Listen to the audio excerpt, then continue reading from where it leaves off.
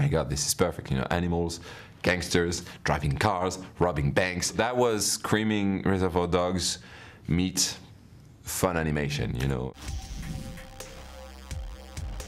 Congrats on the movie. I have to say, I did watch it twice in a row because I loved it. oh wow, my god! Thank you so much. I really appreciate it. Uh, the animation style is just incredible. Can you tell me about finding that? Absolutely. I mean, this is a style that is uh, something that I've been wanting to see on on uh, American uh, animation for for quite a while now. Um, probably because I grew up with it when I was a kid. Um, but it is really a, it's funny because it's kind of becoming a bit of a trend in France, honestly. Um, not not the movie, but that style of animation for a few last few years, really. And and I think you know it's a it's a it's kind of the crossroad of very you know classic traditional animation that we and animation production that we've had in France, but also a lot of anime influence that has been pollinating. You know, they've been cross pollinating each other, and that's something that you know it's not as common to see in in the animation industry in the US. And I really wanted to see that, and so the the trick was to uh, to get that known here to the team so that they kind of reproduce could reproduce it. Of course, our movie is an adaptation of all of this because people have their own reflexes and we have our own pipeline and it's CG and so many things. But but it's kind of that's where it's coming from, you know. And it's Celestine, and and and you have the big bad fox, and you have um, you know like Lupin and, and Castle of Cagliostro, and then you have Sherlock Hound and.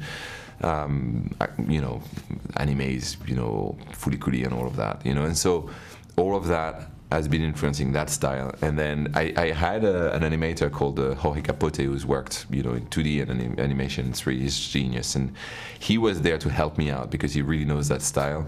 And JP who's the head of animation, together they were trying just really making sure that they could teach the, the crew and just draw over every shot just to make sure it fit in that style. What inspirations beyond the book do you feel like were present in this movie? A lot of inspiration from uh, the heist movies, like classic heist movies, you know, that we all love, the Itali Italian Job and, and Snatch and Lock, Stock and obviously Ocean Eleven, uh, and the Ocean franchise really, and Soderbergh um, films, um, which I'm just a, such a sucker for and big fan of, you know. Um, but also, you know, I think the very first in influence for me was uh, Quentin Tarantino films and film, you know, cinema, and it, it really came out of uh, the the look of that cover, you know, where you know the the first cover of the first book. I mean, the cover of the first book, the bad guys is really those animals in suits, you know, black suits, and they look like gangsters. And to me, it was Reservoir Dogs, and I'm like, my god, this is perfect. You know, animals, gangsters, driving cars, robbing banks, money flying. It was exactly that, and I would picture that right away. And so that was screaming Reservoir Dogs meet fun animation, you know. And then obviously Tarantino is very hard to adapt uh, for children for so many reasons, um, but and therefore it kind of became more like you know the heist genre and the Ocean Eleven and, and, and, and all of those movies that I also love, you know. And so it kind of became that and a bit of Mission Impossible and a bit of breaking the fourth wall like Deadpool and Fleabag and and obviously you know uh, My Fair Lady when it's all the training montage of so, so all of these were in there you know but those are kind of the bigger influences for sure. I love that. And just, I, I, don't know if you're thinking about this at this point, but let's say, and I think it will, this movie blows up. Everybody loves it. Everybody wants more. Do you think there's space for a sequel? And is that something that you've thought about? Well, if you if you think that there's 20 books that are coming out in the in the in the book series, there's no way there's no space for a sequel. You know, there is definitely something to do, and, and, and of course we're thinking about it. You know, of course we want to see those characters be there again and, and come back. And, and honestly, I just enjoy the ride with them so much myself, uh, bringing them to life. And then when I see, you know, my children or like friends of my children's reaction to this and, and wanting more uh, and really wanting to embark with these characters. You really fall in love with them, I think, during this film.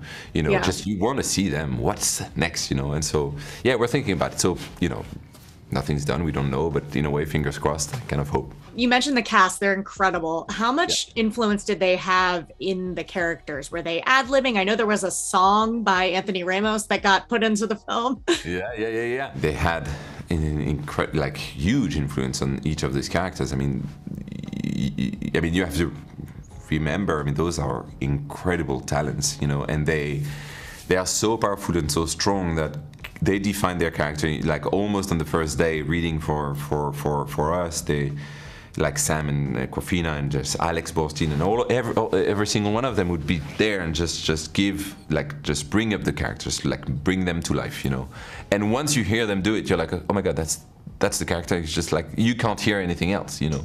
Yeah. And because we first record our, you know, we first dub our, our, our storyboards with scratch voices, temp actors, temp voices, which are great. But then when you hear the real deal, it's like, oh my god, this okay, done. This is this is him. This is Wolf. This is Tarantula. And this is Shark. So yeah, they brought so much to the point where we rewrote some lines for them to really match their voices and their their their acting style.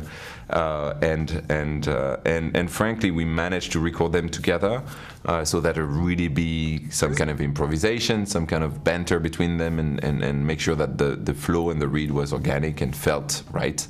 Um, and um, I think they had a blast. I definitely had a blast, and and uh, and it's such a great cast, you know. Me too. Well, I got to wrap, but thank you so much for your time. Congratulations. of course. Thank, thank you. you.